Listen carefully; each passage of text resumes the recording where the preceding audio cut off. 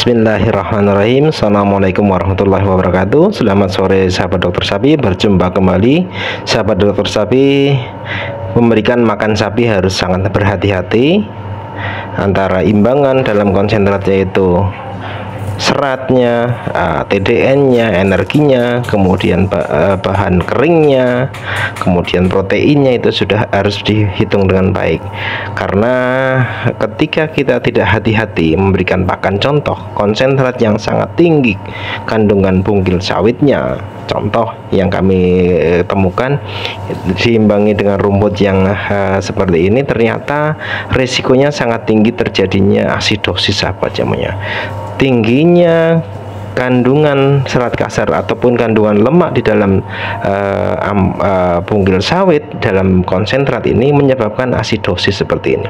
Kotorannya terlihat sangat encer, kemudian benar-benar terlihat berlemak, warnanya tidak normal, uh, hitam kecoklatan seperti itu, dan itu cenderung lama-lama sapi mengalami penurunan nafsu makan. Kemudian uh, performa sapinya juga tidak terlihat baik lama-lama dia menurun nafsu makannya itu yang disebut dengan asidosis apa jamnya. Maka eh, kita lakukan perbaikan lagi kita reformulasi ulang lagi konsentratnya sehingga konsentrat yang kita berikan benar-benar memenuhi unsur-unsur untuk kesehatan si sapi memenuhi kebutuhan yang dibutuhkan. Pertama kita ubah menjadi bentuk dari bentuk pelet menjadi bentuk mesh seperti ini yang kita lengkapi dengan kebutuhan proteinnya. Kebutuhan protein uh, untuk laktasi puncak memang 18% protein dengan TDN di atas 72% seperti itu sahabat semuanya. Kemudian di dalamnya kita serat kasarnya maksimal 19% kemudian di dalamnya kita lengkapi dengan kalsium ya dari dikalsium fosfat. Artinya di, kalsium ini atau DCP ini dia memenuhi kebutuhan uh, sapi perah untuk berproduksi susu. Ingat bahwa sapi berproduksi susu ini rata-rata dalam satu liter susu akan menghabiskan sekitar 2 gram kalsium. Nah, ketika memang pakannya kurang, uh, tidak tersedia di dalam konsentrat, maka sapi-sapi produksi tinggi akan berisiko terhadap uh, namanya hipokalsemia ataupun ambruk. Maka kita sediakan kalsium di dalamnya. Untuk menghindari terjadinya diare atau asidosis maka kita sediakan di dalamnya adalah sodium bikarbonat atau buffer. Nah buffer sendiri sebenarnya uh, dapat diperoleh secara alami dari saliva si sapi. Dari banyak mengunyah serat-serat kasar, dia mendapatkan buffer secara alami yaitu uh, ber, dari saliva atau air liur si sapi sendiri.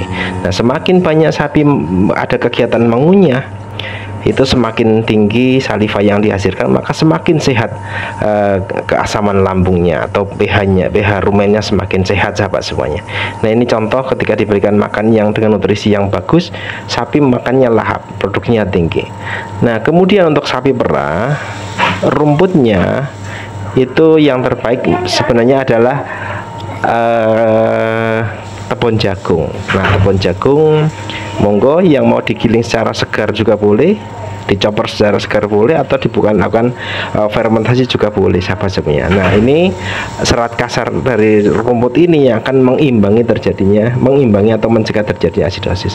Ukuran partikel chopperan seperti ini sahabat semuanya.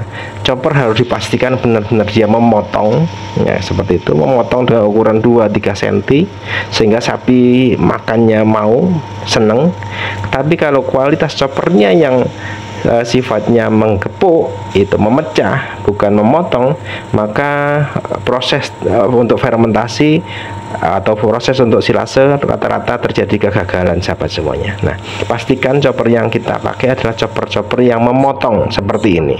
Nah memotong. Untuk terjadinya apa dipotong seperti ini maka ketika diberikan segar pun sapi akan sangat suka sahabat semuanya. Nih sapi akan sangat suka dan tadi targetkan bahwa pemberian bahan uh, asupan nutrisi pakan dalam asupan bahan kering di atas 4% sahabat semuanya jadi hitungannya adalah kemarin formula tetapnya formula umumnya bahwa sapi perah membutuhkan 2% uh, dari berat badannya adalah konsentrat dan 10% berat badannya adalah hijauan. Jadi sapi bobot 400 butuh sekitar 8 kilo konsentrat dan juga membutuhkan uh, sekitar 40 kg uh, tepung jagung seperti itu sapinya. Dengan produksi dengan pakan seperti itu asupan bahan keringnya diperkirakan sudah mencapai di atas 4% dan dipastikan uh, produksi susunya juga bagus dan ingat uh, tolong diimbangi antara konsentrat dengan hijauan harus imbang. Dalam bahan kering konsentrat tidak boleh lebih dari 55% nah seperti itu sahabat semuanya. Lengkapi konsentrat kita lengkapi mikronutrien kita di dalam konsentrat. Di dalamnya ada DCP sebagai sumber kalsium, kemudian buffer bisa sodium bikarbonat, kemudian bisa tetes sebagai sumber tambahan energi dan sumber kalium yang tinggi, kemudian sebagai pewangi, perasa segala macam, garam, kemudian premik sebagai sumber vitamin ADE-nya untuk reproduksinya si sapi. Nah, begitu sahabat semuanya, mudah-mudahan bisa kita aplikasikan sapi yang bagus, kotorannya bagus, produksinya bagus, tidak mengalami mengalami asidosis. Sekian, Assalamualaikum warahmatullahi wabarakatuh.